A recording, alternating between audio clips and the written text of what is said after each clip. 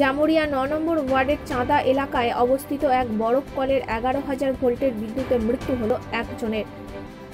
বরফ কলের বাথরুম নির্মাণের কাজ করার সময় পাশের এক গ্যারেজের থেকে অ্যাডভেস্টার দেওয়ার জন্য লোহার পাইপ কাটার কাজ করার সময় বিদ্যুৎ স্পৃষ্ট হয় বছর বত্রিশের।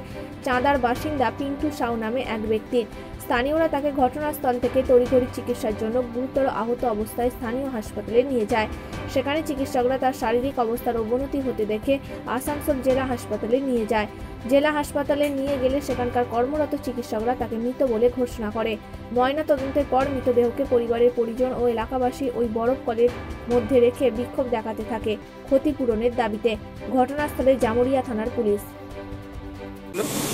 ঠিক না ও কাজ করতে লেগেছিল তার মধ্যে ওর ওরই ভুলে শর্টটা হয়েছে।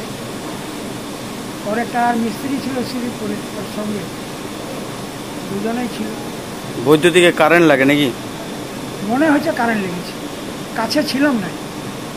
কারেন্টই লেগেছে। উনি কি মিস্ত্রি ছিল? ও মিস্ত্রি ছিল। ও গাড়ি কাজ করে পাতির কাজ করে। কি নাম আছে ওনার? নাম পিন্টু।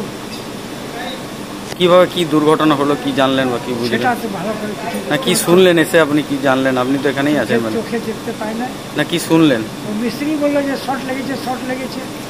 তারপর আমরা সামনে গেলাম তুলে আনলাম। যেটা ঘষাঘষি করলাম সঙ্গে সঙ্গে গাড়ি ডাকলাম হসপিটাল পাঠালাম ওর বাবাকে ডাকলাম। এখানে কোনো কাজ চলছিল নাকি আপনাদের? ওরে ওই কাজ নিয়েছিল ওই কাজ করতে মানে কন্ট্রাক্টের কাজ নিয়েছিল নাকি? হ্যাঁ হ্যাঁ আর কোনো কাজ নাই। মানে আপনাদের এই বরফ কারখানারই কাজ তো? বরফ কারখানায় কাজ হয়। कि कारखाना का जो मुंशी है बुलाया था उसको काम करने के लिए। एक तो छोटा रूम का काम कर रहा है कंस्ट्रक्शन का बाथरूम का।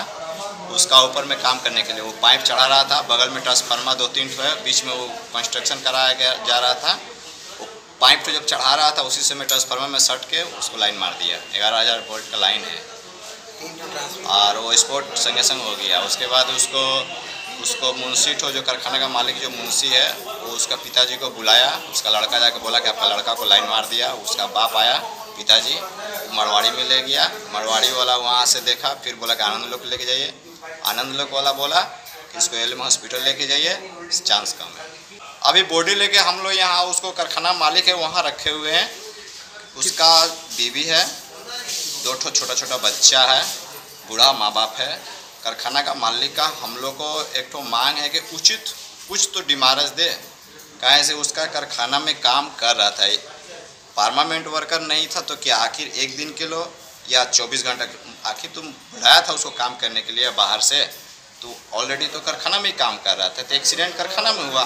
तो मालिक का तो उचित बनता है, कुछ भी देना, मुआवजा स्पोर्ट खर्चा कुछ देना और मुआवजा देना। हम लोग का लोकल आदमी का यही डिमारज है। मालिक को उसका मुंशी है, मुंशी फ़ोन किया तो मालिक बोला कि पंद्रह हज़ार दे दो, छुटकारा कर। तो पंद्रह हज़ार रुपये में क्या होने वाला आजकल? स्पोर्ट खर्चा भी जो है क्रियाक्रम वगैरह वगैरह, वो भी तो पंद्रह हज़ार में नहीं होता है। तो पंद्रह हज़ार में क्या होगा बताइए? तो हम लोग का वही मांग है कि एक तो उचित जो पैसा बनता है, अभी उसको कितना बच्चा है? एक साल भर का, एक, तीन, चार साल का एक नॉर्मल बच्चा है बेचारा कमर्स मैंने आई है, और एक लड़का कुछ दिन पहले हुआ छः सात महीना।